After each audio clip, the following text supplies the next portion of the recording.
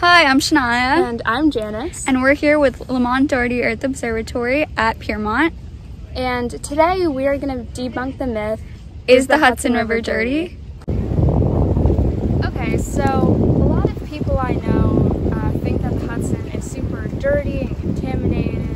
It's like this toxic wasteland. And I think it's because uh, the Hudson does look pretty brownish and maybe a little green. And historically, it was polluted uh, by different industries and factories. Yeah, so as Janice was saying, Hudson River is pretty murky looking, but that's primarily because estuaries in general are very turbid and nutrient rich.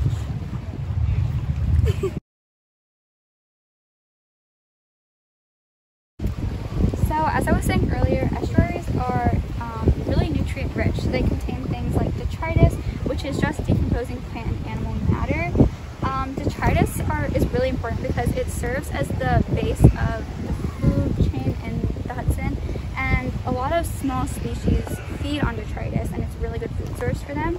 So then you also have nitrates and phosphates. So nitrates and phosphates don't necessarily have color or pigment to it so it doesn't contribute to the color of the Hudson but it does promote algae growth and um, algae does contribute to this brown-green color of the Hudson. And then some other life that you can find in the Hudson that would give it its color would include plankton, so you have phytoplankton and zooplankton. Yeah, and um, uh, one thing that also affects the turbidity is just the mixing of the sediments. So the factors that go into the mixing of the sediments into the water are the tide. So like just as the just as the water moves around, it kind of stirs up the sediments um, in the Hudson, and salinity also plays a factor.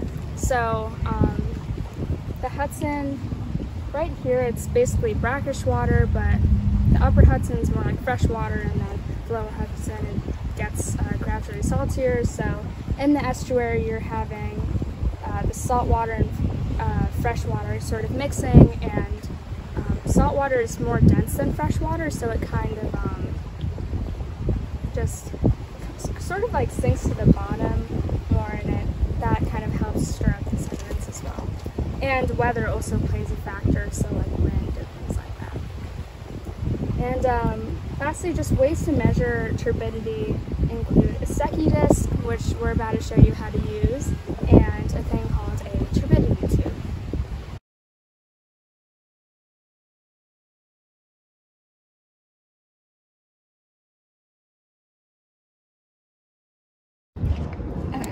So this right here is a Secchi disc and you can tell by its like contrasting white and black colors.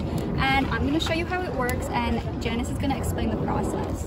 Right, so right now Shania is lowering the Secchi disc into the water and we're gonna drop it until we no longer see the Secchi disc.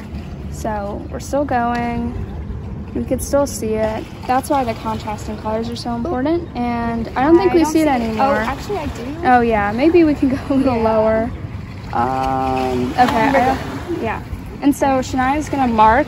Uh, yeah, she's gonna mark where the rope ends, and we're gonna pull it up. It's always good to have two people doing this because eyes are you know, it's good to have a whole set of eyes yeah, to make sure it's little, accurate. The measurements could be a little subjective, so yeah. it's good to have another person. So next, we're gonna take this piece of rope and measure. measure. So here we are measuring the length of our rope.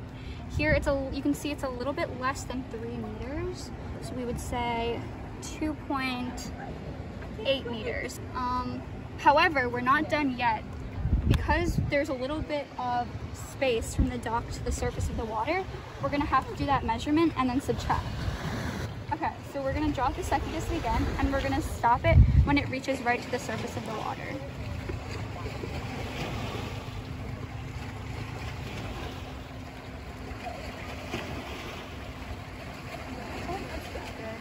And then pinch and pull it back up.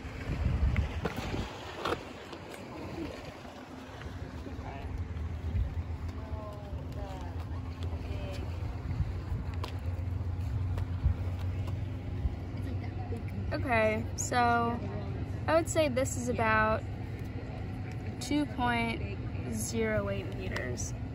So we subtracted the measurement that we just took, which was the surface to the dock, by our initial measurement.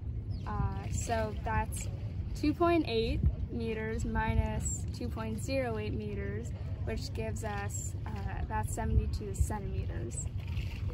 So, is, is the, Hudson, Hudson River dirty? dirty?